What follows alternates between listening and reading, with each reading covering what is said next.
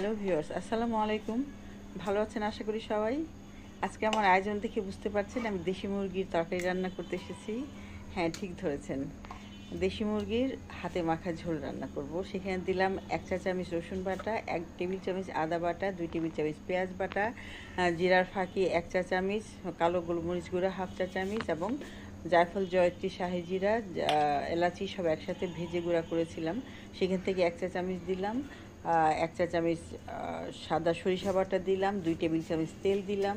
সেই সাথে হলুদ এক চা চামচ এবং মরিচ লাল মরিচ গুঁড়ো হচ্ছে হাফ চা চামচ। এগুলো দিয়ে মেখে নিচ্ছি আমি।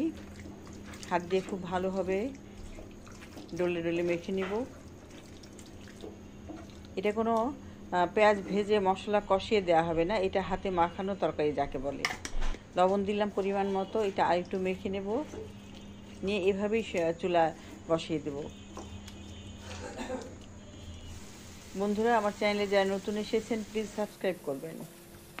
যারা ইতিমধ্যেই সাবস্ক্রাইব করেছেন, তাদের জন্য অসংখ্য ধন্যবাদ। গরম মশলা দিয়ে দিলাম, দুইটা এলাচ, চার থেকে পাঁচটা লবঙ্গ এবং দুই তিন পিস দারুচিনি দিলাম। দেখতে পাচ্ছেন, মাংসটা প্রথমে কষানো হবে। দশ থেকে পনেরো মিনিট কষিয়ে নিতে হবে, মাংসটা খুব ভালোভাবে। এর সাথে দিয়ে দেব টমেটো। রসুন কুচি দিলাম এক টেবিল চামচ এবং টমেটো দিলাম দুই পিস। দুইটা টমেটো টুকরা করে কেটে দিয়েছি। এগুলো সব কষিয়ে নেব। কষানো মোটামুটি হয়ে গেছে। এখন আমি ঝোল দেব, গরম পানি, ফুটানো পানি দিয়ে ঝোল দেব। পরিমাণ মতো সেটা মাংসটা সিদ্ধ হওয়ার জন্য।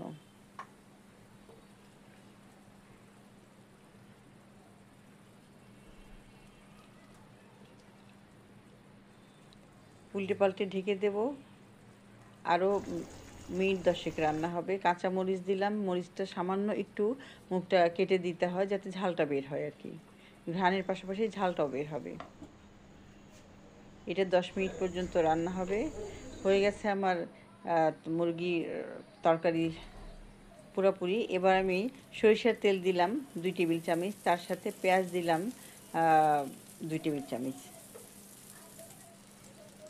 এটা একটু গোল্ডেন ব্রাউন করে ভেজে নেব পেঁয়াজটা তারপর এর মধ্যে মাংস তরকারিটা ফোড়ন দেব।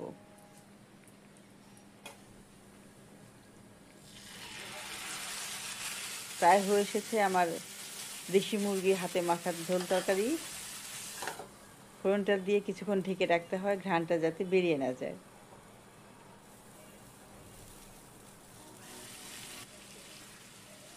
আর একটু উল্টে পাল্টে দেবো, দিয়ে নামানোর আগ মুহূর্তে জিরার ফাঁকি, যেটাকে বলে ভাজা জিরা গুঁড়ো করে রাখা হয়, সেই গুঁড়ো এক আমি ছড়িয়ে দেবো ঘানটা তাজা থাকার জন্য। মুরগির মাংসে এটা একটা বিশেষ ব্যবস্থা আর কি।